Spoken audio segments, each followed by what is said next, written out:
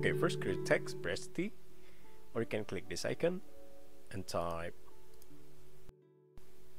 And select all with Ctrl A and change the font to you can download the font on the link and description and convert it to path by going to path choose object to path. Click the selector tool and I will make it ungroup. So in the previous version for the text after you convert to path. You can right click choose ungroup.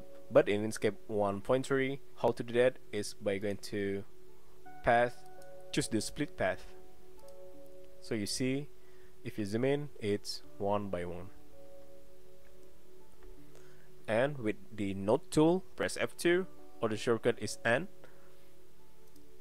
And I will select some of this node so start from here to here you see this node turn to blue. That means you already select it and hold control on the keyboard. Just make it line precisely.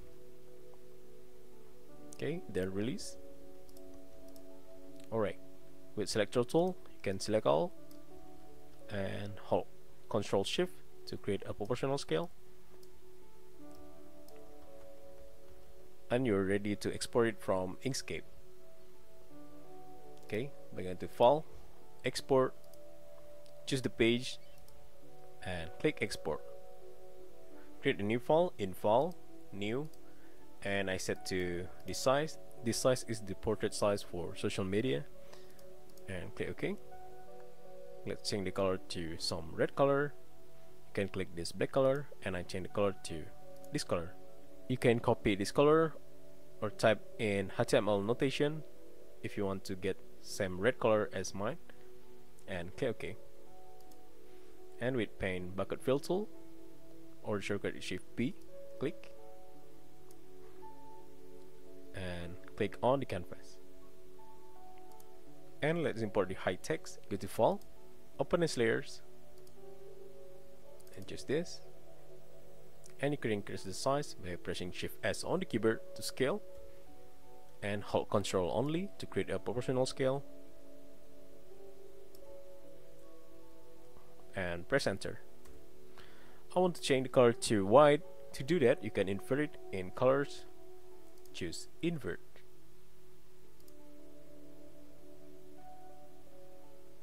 And with move tool. I place it little to bottom and add some text again. Press T and type. Control A and change the color to white. And I want to change the font to Poppins bold and let's create spacing for each letter. So select all and on the text option and you can increase this adjust the letter spacing. Okay with move tool and I try to move to here. Edit text again press T and click and press ctrl A. Let's increase it again. And with move tool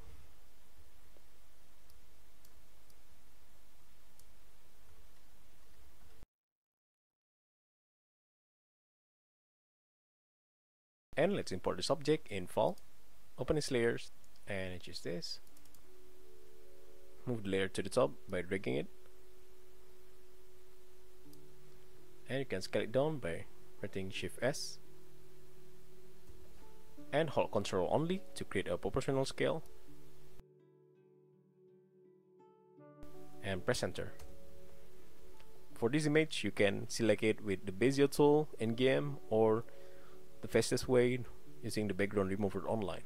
So this time I'm using the background remover online to make it fast. Then let's create a shadow in filters. Light and shadow choose the drop shadows. You can adjust the shadow. You can try to unlink this to freely move. And the blur radius. The opacity not too much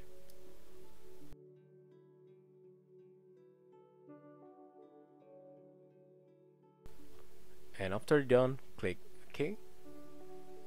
And last I want to add the texture by going to file open as layers and I choose the number 2 and click open. And you can play with layer mode. Just find the best for you. I'm using the darken only. Okay and I want to rotate it a little by pressing shift R on the keyboard press enter okay that's it. I hope you learned something new how you can stretch the text on Inkscape and create this poster design on GIMP thank you for watching and I'll see you in the next tutorial. Bye bye